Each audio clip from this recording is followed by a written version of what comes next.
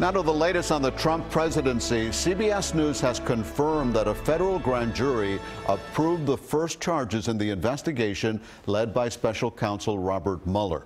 It involves the probe into Russian meddling in the presidential election and arrests could be made as early as tomorrow. The criminal charges are sealed under orders from a federal judge. As we await what happens next, Mueller is facing pressure from some Republicans to step down. I have not yet seen anything that makes me think he must step down, that there's an uh, absolutely indisputable conflict. But I think he's got to be careful and be watching this all the time. While we don't know who might be facing indictment, Mueller has issued a grand jury subpoena for documents and testimony related to former Trump campaign chairman Paul Manafort and former National Security Advisor Michael Flynn.